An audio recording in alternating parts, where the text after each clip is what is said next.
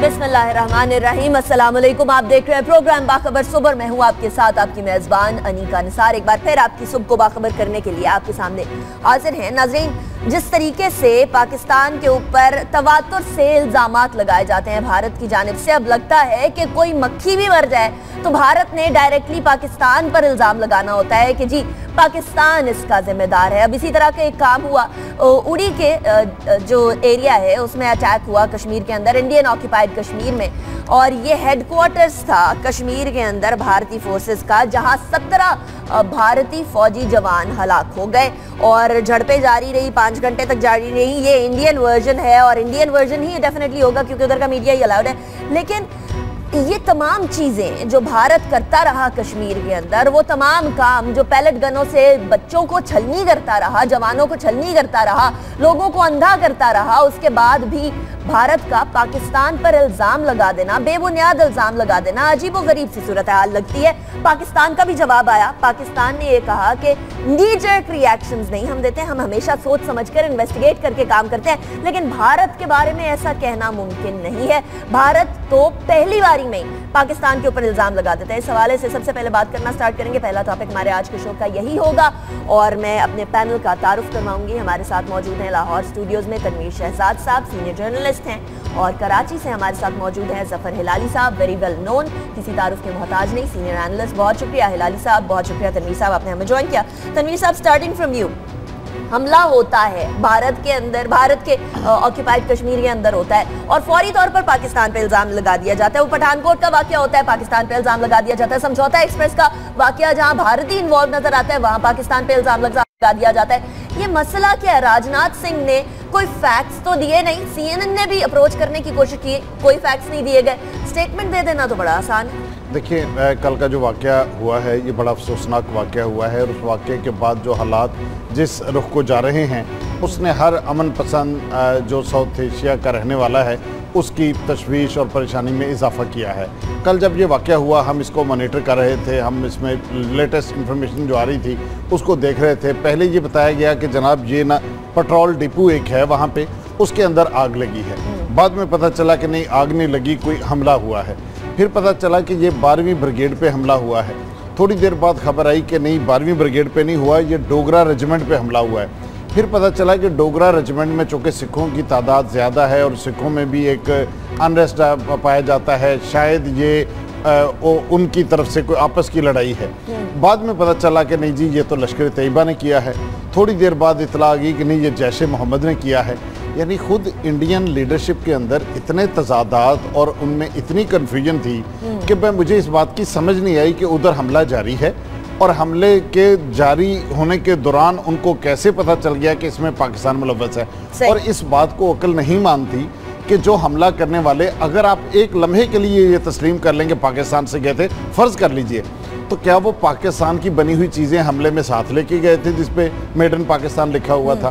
क्या पाकिस्तान को इस हमले का कोई फ़ायदा हो सकता है? एक ख़ास वक्त में जबकि पाकिस्तान को सिफारती कामयाबियाँ मिल चुकी हैं। दुनिया पाकिस्तान की बात सुन रही है। कश्मीर पे जो है वो इसको मुश्किल का सामना है। देखिए मैं इसमें दो तीन चीज़ें बड़ी इंपॉर्टेंट है। ये एक ऐसा वक्त है एक तो ये जो इसकी टाइमिंग इंपॉर्टेंट है कि न्यूयॉर्क के अंदर पूरी दुनिया के लीडर जो है इकट्ठे हो रहे हैं। जनरल असम्बली का इजलास है। कश्मीर के मसले को उजागर करने के लिए तैयारियाँ ऐसी हैं कि वज़ीर अजम मोदी जो है उसका सामना नहीं कर रहे उन्होंने सुषमा स्वराज को भेजा है। अब दो तीन बातें इंपॉर्टेंट एक तो हुआ कि चीन और ओआईसी ने खुल के भारत की मजम्मत की है। अमेरिका ने बलूचिस्तान के मामले के ऊपर जो इंडिया का मौक़ है उसको मुस्तरद किया है। कश्मीर के अंदर जो हालात हैं उस पर भारतीय फौज कह रही है कि ये फौज के बस का मामला नहीं है। एक डिफेंसिव इंडिया जो है उसको ज़रूरत थी कि कोई ऐसी सिचुएशन डिज़ाइन करे जिससे आलमी तौर पे वो दोबारा एक मीडिया कैंपेन एक सफारती अच्छा, कैंपेन टाइमिंग की तरफ़ मैं दोबारा आऊँगी लेकिन हिलाली साहब सबसे पहले आपको जरा लेकर चलना चाहूँगी कि आ, ये बयानात इंडिया में से खुद आ रहे हैं कि नरेंद्र मोदी अपनी बाकी पॉलिसीज़ में फेल होने की वजह से पाकिस्तान पर अटैक का कोई ना कोई, या पाकिस्तान से जंग का कोई ना कोई तरीका ढूंढ रहे हैं ताकि वो एक बार फिर इलेक्शन के अंदर कामयाबी हासिल कर सके, इलेक्शन कैंपेन में बोल सके कि जी, देखिए, हमने कोई वादा तो पूरा किया। ये मायावती उनकी अपने गुजरात के अंदर इलेक्शन कैंपेन करते हुए एक जलसे से खिताब करते हुए कहती हैं कि Indian prime minister can at any time want to attack Pakistan. ये क्या वही तरीका है, क्या एक ज़रिया ढूंढा जा रहा है, ये उड़ी के अंदर वाक्य करके? बड़ा अच्छा सवाल है आपका, और मैं समझता हूँ कि ये बिल्कुल सही है। मायावती जो थी, है वो बड़ी ज़बरदस्त पॉलिटिकल लीडर है, और उसको पॉलिटिक्स आते हैं। और जब वो कहती है कि मूडी तलाश कर रहा है, बहाना अपने पॉलिटिकल स्टॉक को लिफ्ट करें तो बिल्कुल सही कह रही है, और हो सकता है। देखिए, मैं किस थोड़ी सी हैरानगी मुझे ये हो रहा है, दुनिया के और ख़ासतौर अमेरिकन और इंडियन रिएक्शन पे कि जब एक कम्युनिटी को, एक लोगों को, आप, उनके पास मीन्स हैं टू अटैक यू उनके पास एबिलिटी है टू अटैक यू उनके पास मोटिव है टू अटैक प्रोवोकेशन है और बहुत बड़ा है और अगर बड़ा अब तक बड़ा नहीं हुआ, कितने लोग मारे गए हैं तो ये नासिर शफी बेचारा 11 साल का लड़का जो पाया गया है रिडल्ड विद पेलेट्स और उसका लाश फेंका गया, ये एक ओपन प्रोवोकेशन है। तो जब ये सब फैक्टर्स प्रेजेंट हैं साथ साथ हमें ये भी पता है कि ये हिंदुस्तान का फेंस इज़ वर्चुअली इम्पेनेट्रेबल माने कुत्ते हैं लेजर्स हैं पेट्रोलिंग है, हर चीज़ है। तो ये अटैक जो है ये ज़ाहिर है।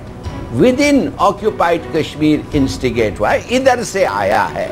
अब ये कहना कि फॉरेनर्स इन्वॉल्व हैं ये कहना कि उन लोग कुछ नहीं करेंगे सिर्फ़ पाकिस्तान इस पाकिस्तान ड्रिवन इट्स रिडिकुलस तो इसलिए मैं ये समझता हूँ कि हम लोग बहुत से अब इनसे फ़ायदा उठा सकते हैं। हम कुछ we should take the initiative मिसाल के तौर पे यूएन पे जैसे ये discussion goes on I would like to revert to that जी, ठीक है। यूएन के अंदर क्या फ़ायदा उठा सकते हैं इसके बारे में बात करेंगे लेकिन तनवीर साहब, जिस तरीके से हिलाली साहब ने भी कहा कि ये जो एलओसी के वहाँ बाढ़ लगाई गई है इंडिया की जाने से, वो वर्चुअली इम्पेनेट्रेबल है। अगर वर्चुअली इम्पेनेट्रेबल है तो फिर या तो भारत को अपने सिक्योरिटी सिस्टम पर भरोसा नहीं है, या फिर पाकिस्तान के बारे में वो ये सोचता है कि पाकिस्तान की ताकत या पाकिस्तान की इंटेलिजेंस बेस इतनी स्ट्रांग है कि वो उनकी इम्पेनेट्रेबल बाढ़ को भी पेनेट्रेट कर सकते देखिए, ना सिर्फ़ ये एक हैरानगी की बात है, बल्कि इससे भी ज़्यादा हैरानगी की बात यह है कि चार लोग जाते हैं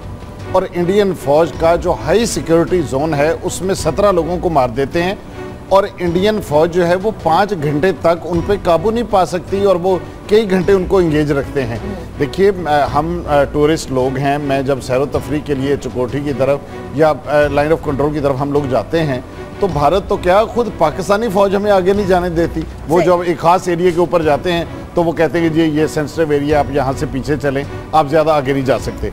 देखिए सबसे ख़तरनाक बात यह है कि इंडियन लीडरशिप ने कहा है कि हम सिर्फ़ मजम्मत तक नहीं रहेंगे हम इस वाक़े का जवाब देंगे।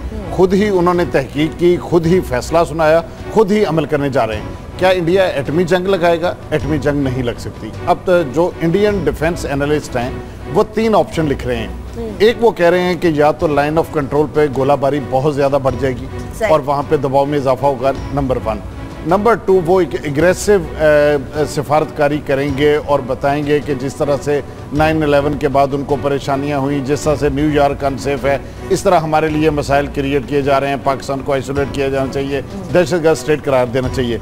तीसरी और सबसे ख़तरनाक बात यह है कि वो पाकिस्तान के अंदर खुफिया कार्रवाइयों में इजाफा करेंगे।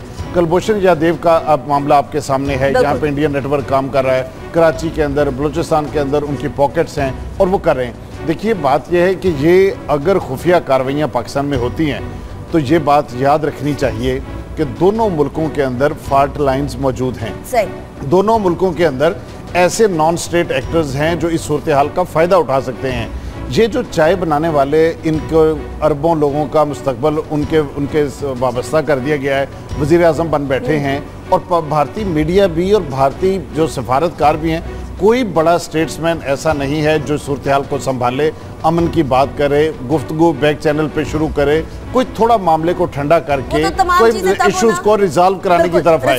लेकिन हर बंदा आग आग पे तेल छिड़क अगर नरेंद्र मोदी साहब हिम्मत करके वज़ीर आज़म साहब की बातों का जवाब दें यूनाइटेड नेशंस में या फिर ये कि कम अज कम साइडलाइंस में मुलाकात हो जिस तरह बड़ी सरगोशियाँ हुई थी लास्ट लास्ट टाइम भी लास्ट टाइम भी उन तमाम चीज़ों के बारे में बात हुई थी। हिलाली साहब यूनाइटेड नेशंस में आप थोड़ी देर पहले कह रहे थे हम इस चीज़ को इस चीज़ से फ़ायदा उठा सकते हैं अपनी डिप्लोमेसी के थ्रू क्या फ़ायदा उठा सकते हैं और कैसे फ़ायदा उठा सकते हैं?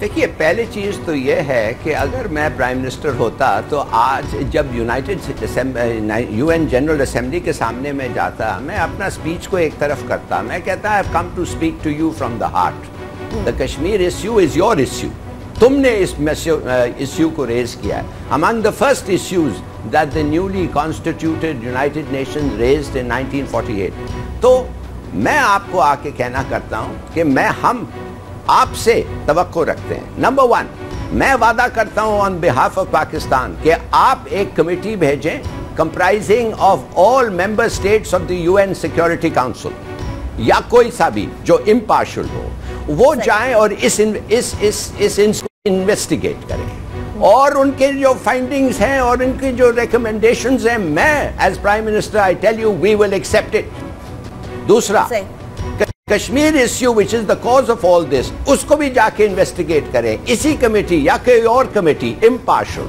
और मैं करता हूँ कि हम इसको इंप्लीमेंट करेंगे अगर हिंदुस्तान भी इसको अगर इंप्लीमेंट किया। तो जाइए आप प्रोसीड करें। You couldn't have a better offer from Pakistan तो कहने की बात यह है। कि देखिए इनको फॉरन डिफेंसिव पे लगाएँ। यानी हमारी हमारी जो फॉरेन पॉलिसी है वो रिएक्टिव नहीं होनी चाहिए प्रोएक्टिव होनी चाहिए और वो प्रोएक्टिव डिप्लोमेसी का वक्त आ गया है। इसलिए क्योंकि यूनाइटेड नेशंस के अंदर आज जब वज़ीर आज़म बात बड़े स्ट्रॉन्ग फुटिंग पर होंगे स्ट्रॉन्ग फुटिंग पर इसलिए होंगे क्योंकि हुरियत रहनुमाओं ने वज़ीर आज़म से मिलना गवारा किया, नवाज़ शरीफ से मुलाकात की, लेकिन राजनाथ सिंह जो भारतीय वज़ीर दाखिला है, उनसे मिले भी नहीं और राजनाथ सिंह का एक ट्वीट मेरे सामने इस हवाले से कि Pakistan is a terrorist state and it should be identified and isolated as such तो मेरा सवाल ये है कि आपने जनरलाइज स्टेटमेंट तो दे दी, कोई फैक्ट्स एंड फिगर भी सामने लेकर आए, कोई फैक्ट्स एंड फिगर्स तो जब भी आपसे मांगे जाते हैं, तब आप दे नहीं पाते। इंटरनेशनल जर्नलिस्ट ने आपसे जब फैक्ट्स एंड फिगर्स मांगे, तब तो आपके पास कोई जवाब नहीं था। सीधा सीधा बोल देना वो अजीब गरीब सी बात हो जाती है। लेकिन अब अगले टॉपिक की तरफ़ चलते हैं और बात करते हैं चैलेंजेस की। तो पाकिस्तान को जहाँ चैलेंजेस है, वहाँ वज़ीर आज़म साहब को भी चैलेंजेस है। और उन चैलेंजेस के अंदर से एक चैलेंज इमरान खान है। और इमरान खान ने 30 सितंबर की तारीख दे दी है। 30 सितंबर की तारीख में उन्होंने रायवन जाने का ऐलान किया। याद रहे, ये पहले 24 की तारीख दी थी, लेकिन उसके बाद फिर बातचीत होने के बाद 30 की तारीख दी है। लाली साहब, ये 30 को होने क्या जा रहा है? उन्होंने इमरान खान साहब कहते हैं कि रायवन किसी की जागीर नहीं है। तो ये कहाँ कहाँ का इरादा रखते हैं? घर के बाहर का रायवन का what is going to happen 30 सितंबर को ऐसा क्या होगा जो पिछले जलसों से मुख्तलिफ़ होगा?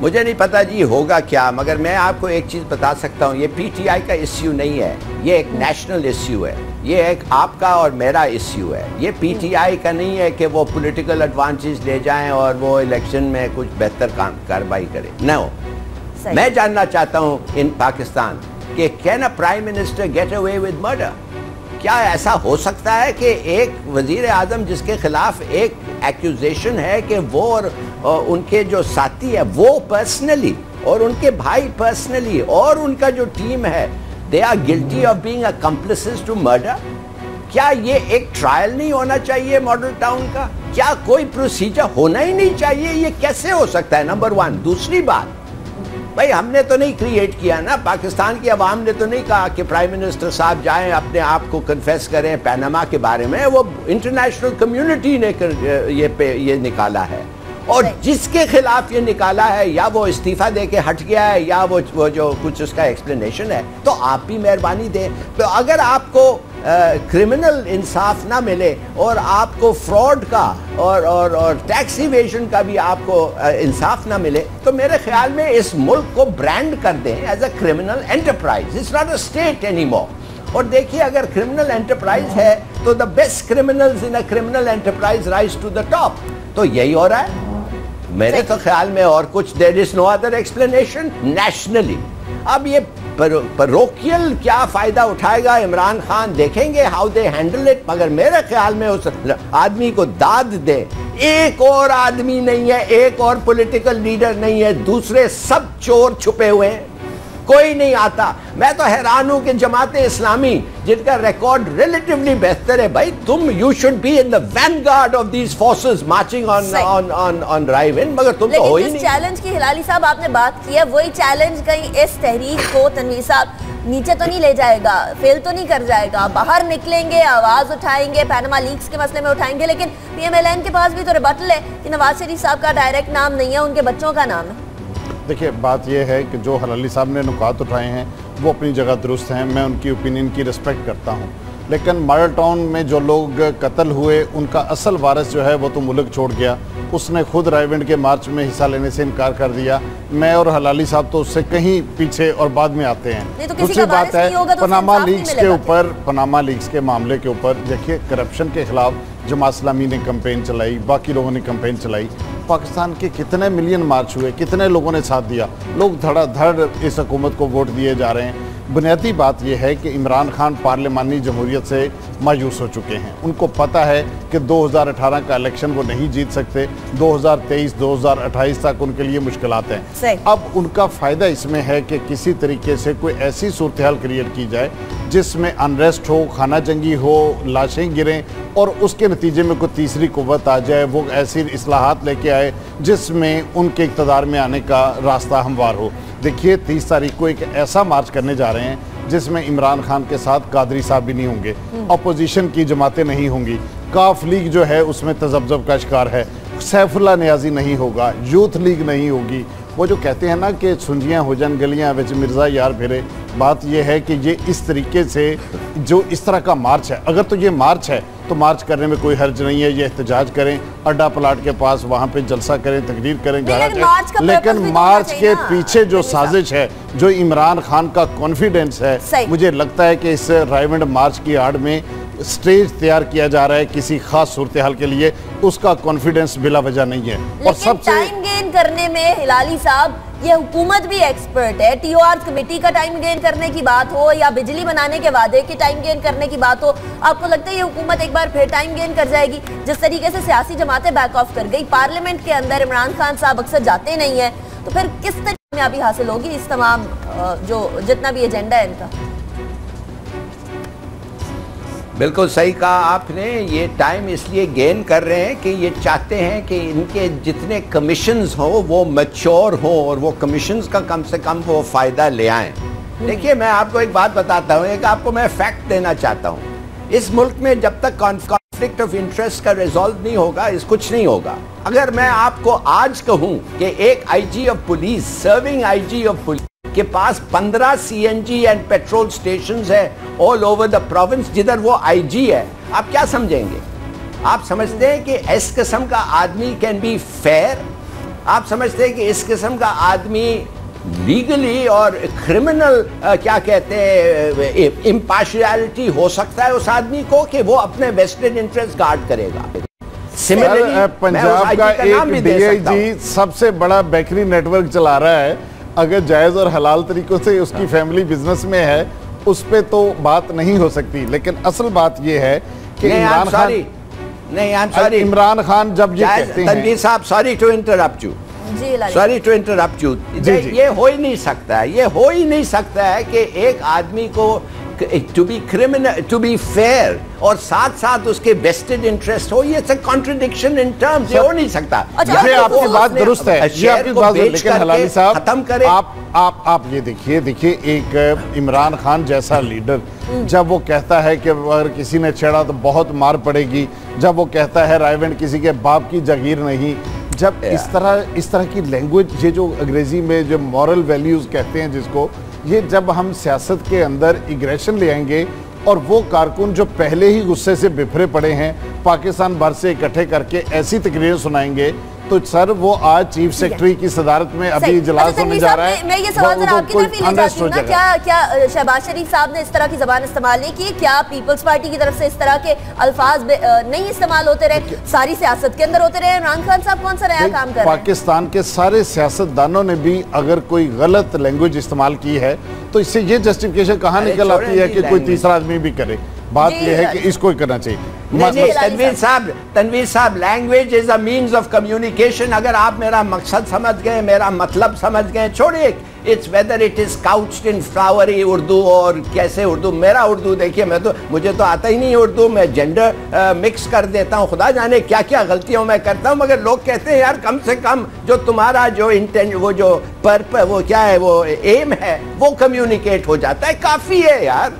क्यों आप जाके अगर इमरान खान कहता है मैं ऐसी की तैसी कर दूँगा आप क्यों समझते हैं कि उसको कुछ और अल्फाज में कहना दही स्पीकिंग सर राना सनाउल्ला कहता है कि भारत के साथ जो कशीदगी में इजाफा हुआ है दहशत गर्दी की जो जो अलर्ट्स आ रहे हैं इस वक्त इंटेलिजेंस एजेंसियों की तरफ़ से उसमें इतनी बड़ी गैदरिंग जो है ये एक रिस्की डिसीज़न भी हो सकता है। ये तो लाहौर के जलसे के बारे में भी नहीं बोला गया था हिलाली साहब। लाहौर के जलसे के बारे में भी तो बोला गया था जो चेयरिंग चौक के ऊपर था कि जी सिक्योरिटी रिस्क है सबसे आसान काम किसी भी जलसे को मुलतवी करने के लिए ये नहीं होता। खैर ये सब ये सब चीज़ें आपके आगे से ये जा रहे हैं मगर I don't think don't pay too much attention देखिए अगर जिधर तक हिंदुस्तान है अगर वो समझता है कि टेररिज्म का रिस्क है आज तक हम लोगों ने एक इस्तेमाल नहीं किया है, एक फैक्टर हिंदुस्तान में।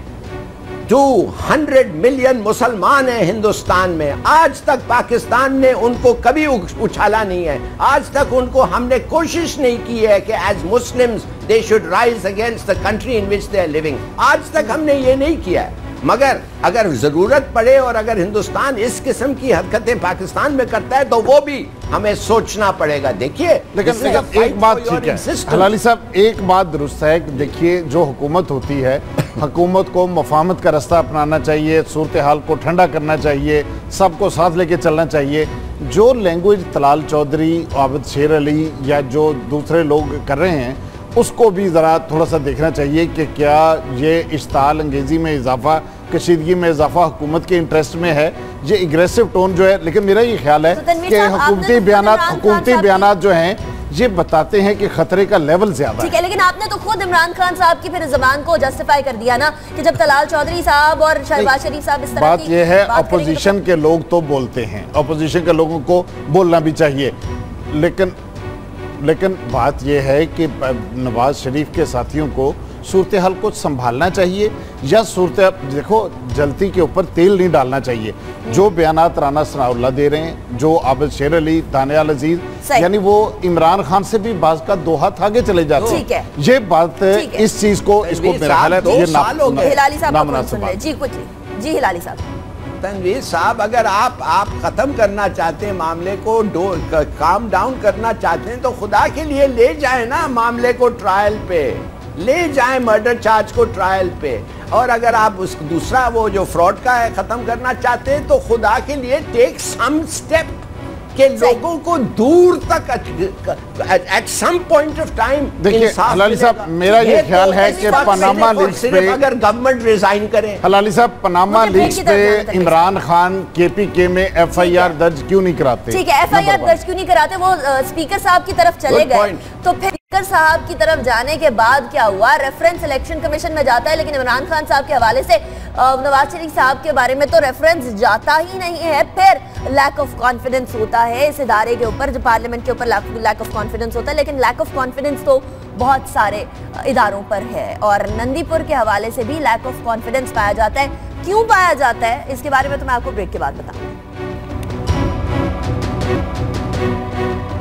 welcome back after break break पे जाने से पहले नंदीपुर मंसूबे की बात हुई तो नाजरीन, नंदीपुर वो मंसूबा है जिसके लिए अभी तक अवाम इंतज़ार कर रहे हैं कि वो समरात उसके हम तक पहुँचे, जिसका हुकूमत ने हमसे वादा किया था, वो बिजली उन नरखों पे हमारे तक पहुँचे, जिसका हमसे वादा किया गया था। लेकिन उसकी क्या बात करिए, वहाँ का तो रिकॉर्ड ही जला दिया गया। अब जला दिया गया या जल गया, इसके बारे में तो अभी तहकीकात होंगी, लेकिन रिपोर्ट में एक बात कही गई है, जो इन्वेस्टिगेशन रिपोर्ट सामने आई है, उसके अंदर ये कहा गया है कहीं ना कहीं से कोई ना कोई अंदरूनी हाथ ज़रूर है, क्योंकि ना तो सीसीटीवी कैमराज ना खुदकार अलार्म थे, और जब इस तरह की सिचुएशन हो कि चोरी कर ली जाए और एक छोटे से गार्ड को सस्पेंड कर दिया जाए इस बात पर और बड़े बड़े अफसरान निकल जाएँ तो फिर सवाल ये पैदा होता है कि क्या बड़े अफसरान इन कनाइवेंस थे या नहीं? तनवीर साहब, अजीब सूरत हाल है, इतने इम्पोर्टेंट नेशनल लेवल का एक मंसूबा है। उसके एविडेंस उसके रिकॉर्ड्स जल जाते हैं और फोरेंसिक रिकॉर्ड्स जल जाते हैं। तो फिर सवालिया निशान तो खड़ा होगा ना कि ये कोई इनकनाइवेंस तो चीज़ नहीं की गई कोलूजन तो नहीं है कि गवर्नमेंट और इदारों का? देखिए, ये एक मिसाल है और बदतरीन मिसाल है हुकूमत के अंदर किस तरह मामला चलाए जाते हैं। छः सितंबर को पता चला कि कुछ लोग आए और उन्होंने आके नंदीपुर का जो इम्पोर्टेंट रिकॉर्ड था, वो फाड़ दिया, ज़ाया कर दिया और उसके बाद पता नहीं चला ये कौन लोग थे। दो इंक्वायरियाँ वाटर एंड पावर मिनिस्ट्री कर रही है, एक पुलिस इंक्वायरी कर रही है। पहली इंक्वायरी कल मुकम्मल हुई है। इस इंक्वायरी में क्या पता चला है? पहला फैक्ट ये सामने आया कि इतने इम्पोर्टेंट प्रोजेक्ट के अंदर सीसीटीवी कैमरे ही नहीं लगाए गए थे। दूसरा फैक्ट ये सामने आया कि जो ऑयल टैंकर्स की इन्वाइसेस थी, ये जाली तौर पे तैयार की जाती थी और इस पर जाली दस्खत होते थे और ये मंजूर हो जाते थे और अदायगियाँ हो रही थी। तीसरा फैक्ट ये आया कि बाज़ छोटे बाज़ मुलाजमिन ऐसे हैं जिन्होंने कीमती अराजी खरीदी है और उनके जो इनकम है और उनके जो असासे हैं इनमें मुताबकत नहीं है। बाईस करोड़ रुपए का तेल कागजों में खरीदा गया है जिसका जिसका वजूद कोई नहीं है लेकिन उसकी अदायगी हो गई और ये हो गया। देखिए बात ये ख्वाजा आसफ हैं वाटर एंड पावर मिनिस्ट्री के वज़ीर। और नाम के वज़ीर हैं हम सब जानते हैं। आबद शेर अली रखे हुए हैं कि वो मीडिया के सामने बयान दें असल काम कौन कर रहा था नदीपुर पे वो शहबाज शरीफ साहब कर रहे थे। शहबाज शरीफ साहब का ये एक मेगा स्कैंडल था जिसके ऊपर उस वक्त भी बात आई थी कि इसकी कॉस्ट भी बड़ी है।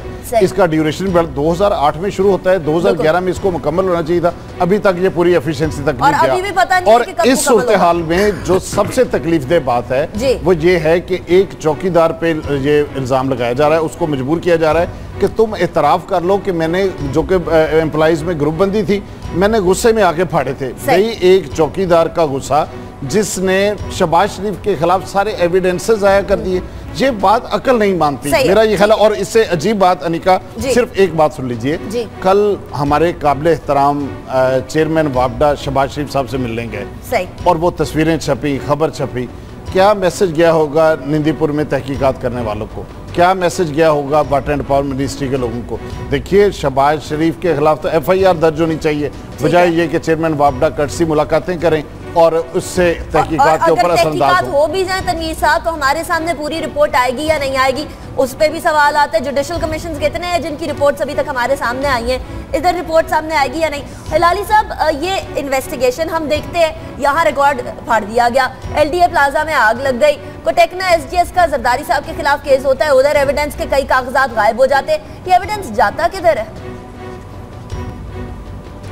देखिए जी जो एक क्रिमिनल रिपब्लिक में ऐसी चीज़ें होती रहती हैं और we must all accept it अब कहने की बात यह है कि अब तक तो आपको कुछ पता ही नहीं है। सबसे बड़ा प्रोजेक्ट जो इधर इस मुल्क में हो रहा है, अगर आप देखेंगे उसके कॉस्ट किसने इन्फ्लेट किए गए हैं। पचास फ़ीसद bribery bribery factor is as high as fifty percent in some project और अगर आप देखेंगे कि वो लोग जो एक्चुअली जो लोग हैं, जो ओनर्स हैं, वो कौन है? उनका नाम notorious names in Pakistan history वो आ गए वापस और वो भी ओनरशिप ले रहे हैं in a very very very big project ये भी बातें निकलेंगी इन ड्यू कोर्स जब इस इस माशरे में ये जो क्रिमिनल्स हैं, इनको निकाले गए मगर उससे पहले नहीं। अब देखिए, किस मुल्क में आपके सब लीडर्स बाहर हैं? और जरदारी साहब बाहर हैं, अल्ताफ़ हुसैन तो छोड़ो, वो भी बाहर है। अब आपसे मैं पूछना चाहता हूँ कि नवाज़ शरीफ साहब अंदर क्यों हैं? इसलिए ही controls police and law and order अगर वो नहीं कंट्रोल करते, वो इम्पार्शल होते, उनके हाथ में ये सब चीज़ें नहीं होती, मैं आपको लिख के देता हूँ, वो भी जाते चले जाते बाहर। तो जब एक मुल्क और एक लोग और उसकी इस्टेब्लिशमेंट ये बातें समझती नहीं है कहती रहती है कि करप्शन को हम कंट्रोल करेंगे। कहती रहती है कि corruption and terror financing are related मगर जब वक्त आता है to actually take thing people to trust कुछ होता ही नहीं है। कमाल है। तो इसलिए मैं कह रहा हूँ एज ए क्रिमिनल एंटरप्राइज ये स्टेट प्रोग्रेस करता रहेगा मगर एक दिन ये खत्म होगा और फिर जब लोगों के बातें निकलेंगे I mean I just can tell you लोग हर जगह बोलते हैं इंफॉर्मेशन किसने कितना लिया क्यों लिया आइए साहब हम आपको बताते हैं। माने इट इज़ एंडलेस मगर जब तक आपको एक ठीक तरीके से पनिश नहीं करेंगे इनको कुछ नहीं होगा। तो प्लीज़ अच्छा, पनिश करेंगे पीपल्स पार्टी दौर में कई साल तक नंदीपुर की फ़ाइल जो है वो बाबर अवान साहब की टेबल पे पड़ी रही। मशीनरी पोर्ट पे गलती सड़ती रही। पीपल्स पार्टी के गुनाहों को ये सपोर्ट करते रहे इनके गुनाहों को वो सपोर्ट करते रहे। बात यह है कि देखिए हम जब हुकूमत को सपोर्ट करते हैं तो हमें हमें हमारी कोई नवाज़ शरीफ के साथ हमारी कोई दिलचस्पी नहीं। हम जमहूरीत को, पार्लियामेंट को, वोट को, अवाम की राय को, इसको सपोर्ट करते हैं। लेकिन अगर इसको करप्शन का ज़रिया बनाया जाएगा, लोग हमसे पूछते हैं, एक आदमी मल्टीनेशनल कंपनी की जॉब छोड़ के, उसने कहा, मैं इलेक्शन लड़ूँगा। मैंने कहा, तुम इलेक्शन क्यों लड़ेंगे? उसने कहा, ज़िंदगी में अमीर बनने के दो ही तरीके हैं। या तो सियासत में आ जाया जाए, या एक दूसरे प्रोफेशन का नाम लिया, जिसका मैं इस वक्त ज़िक्र नहीं करना चाहूँ ठीक है, सही है। लेकिन होते हैं। एक मुल्क के अंदर इंसाफ के तकाजों के लिए सबसे ज़्यादा ज़रूरी होता है कि शवाहिद मौजूद हो। शवाहद मौजूद हो, साथ विटनेसेस को प्रोटेक्शन हो। ये तमाम चीज़ें हमारे यहाँ नहीं होती जिसकी वजह से हमारे यहाँ पर इंसाफ की फरहमी तातुल का शिकार हो जाती है। लेकिन जहाँ तातुल का शिकार होती है नाजीन इंसाफ की फरहमी वहाँ कहीं, कई ऐसी चीज़ें भी हैं जो तातुल का शिकार हो गई वॉर ऑन टेररिज्म की बात करें, ये वॉर ऑन टेररिज्म ऐसी है कि ख़त्म होने का नाम नहीं ले रही और अमरीका भी अभी इसी की जद में है। पूरी दुनिया इसी की जद में है, अरब इसी की जद में है, हमारा खत्ता इसी की जद में और अमरीका के अंदर न्यूयॉर्क में एक ऐसा ही वाक़ होता है, एक बम धमाका होता है और ये यूएन के बाहर होता है ऑफ़िस के बाहर होता है। इसी तरह मिनसौरा के अंदर भी एक वाक़ होता है जिसके अंदर दाइश का एक शख्स, एक जंगजू आठ लोगों को चाकू मार देता है। हिलाली साहब, ये 2001 से लेकर अब तक वॉर एंड टेररिज्म ने पूरी दुनिया को अपनी लपेट में लिया हुआ है। हम कब इससे छुटकारा पा, पा सकेंगे? ये कब ऐसा होगा कि पूरी दुनिया एक बार फिर अमन की तरफ़ चलेगी? देखिए मेरे ख्याल में ओसामा बिन लादन अगर ज़िंदा होता तो बड़ा खुश होता। वो कहता कि जो चीज़ मैंने प्लान किया है वो हर चीज़ हो रहा है। जितनी कशीदगी दुनिया में है वेस्टर्न वेस्ट और ईस्ट और इस्लामोफोबिया वो तो कहता है कि मेरे एक एक्शन से मैंने दुनिया को आई चेंज द वर्ल्ड और वाकई वो सही कह रहा है। मगर देखिए किस किस्म के लोग हैं और किस किस्म की लीडरशिप है हमें कि हम लोगों ने वी हैव क्या कहते हैं? We are complicit in his success हमने उसे मदद किया है टू बी सो सक्सेसफुल और अब अमेरिका में भी फैल गया है। क्यों नहीं हो? जी, उधर। देखिए, अमेरिकनों ने क्या क्या नहीं किया है। अफसोस से ये कहना पड़ता है कि उनका एक लीडर बुश, जो जो मलेशिया में एक वो ट्रायल ट्राइब्यूनल हुआ है और उसका फैसला ये था। बाय द वे वो Mahathir Mohamad was part of that tribunal उनका फैसला ये था कि there is nobody as guilty as Bush वो तो पीसफुल रिटायरमेंट में खड़ा हुआ है। वन में एक मिलियन इराकी मारे गए हैं। और आज भी आप वीडियो पे जाएँ तो वो टेक्नोलॉजी से वो बता रहे हैं आपको कि ये जो दाइश वाले लोग उनके खिलाफ लड़ रहे हैं वो कैसे उनको वन बाय वन हेलीकॉप्टर से रात में आइडेंटिफाई करके ख़त्म कर रहे हैं। कहने की बात ये है people are desperate to get justice और अगर अमेरिका में ये बम्स वम्स हैं बड़ी अफसोस की बात है this is wrong it is criminal मगर हम्म। क्या करें? आप सोचिए जब तक कोई सेम्बलेंस ऑफ़ इंसाफ ना हो ये होता रहे।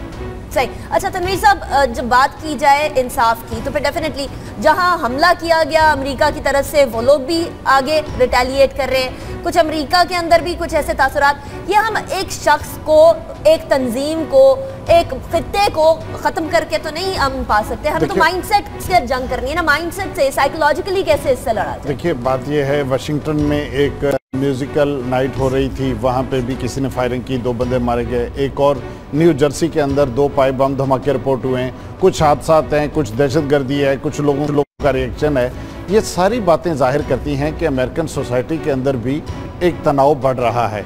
ये जो अमेरिका की दहशत गर्दी के खिलाफ पॉलिसियाँ थी, इन पॉलिसियों के नतीजे में रद्द अमल में इजाफा हो रहा है।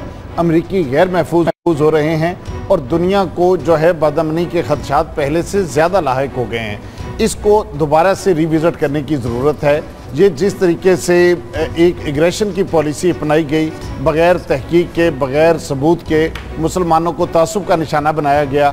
और देखिए ये जो दाइश के लोग हैं अब तो इसके बारे में बहुत सी बातें आ रही हैं कि इनके रूट्स कहाँ से इनका ओरिजिन के कहाँ जाके मिलता है हम्म। कौन उनको फैसिलिटेट करते रहे हैं। पाकिस्तान की कहानी आप देख लीजिए तालिबान को किसने किस तरह से बनाया कैसे इस्तेमाल तो किया अफगान जंग के अंदर जो जो अमेरिका की पॉलिसियाँ थी मेरा ये ख्याल है कि ये सेल्फ करेक्शन का वक्त है। अमेरिका को भी रिविजिट करना चाहिए कि उसकी पॉलिसियों में कहाँ कहाँ खराबी है कहाँ कहाँ प्रॉब्लम्स हैं अगर इसी तरह वो चलते रहे तो वो मजीद हिलारी साहब कुछ फरमा रहे हैं। हिलारी साहब आप अपना पॉइंट कंप्लीट कर लीजिएगा। सेकंडली वो साइकोलॉजिकल वॉरफेयर वाला मेरा सवाल उसका भी जवाब दे दीजिएगा कि साइकोलॉजिकली हम इस माइंडसेट से कैसे लड़ेंगे।